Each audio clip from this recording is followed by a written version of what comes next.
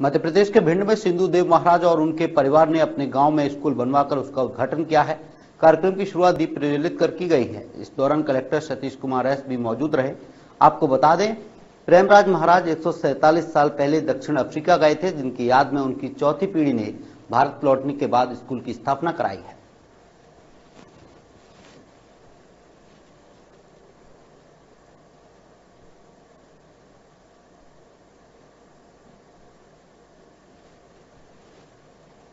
ये मुझे कहते हुए बहुत खुशी लग रहा है कि यहाँ मिस्टर दिनेश महाराज जी उपलब्ध है। तो इन, इन्होंने यहाँ भगवंतपुरा करके जो गाँव में अटेर में इन्होंने अपना कॉन्स्टिट्यूशन से यहाँ स्कूल बिल्डिंग बनाया है, तीन क्लासरूम और फर्निशिंग और पूरा चीज़ बनाए हैं।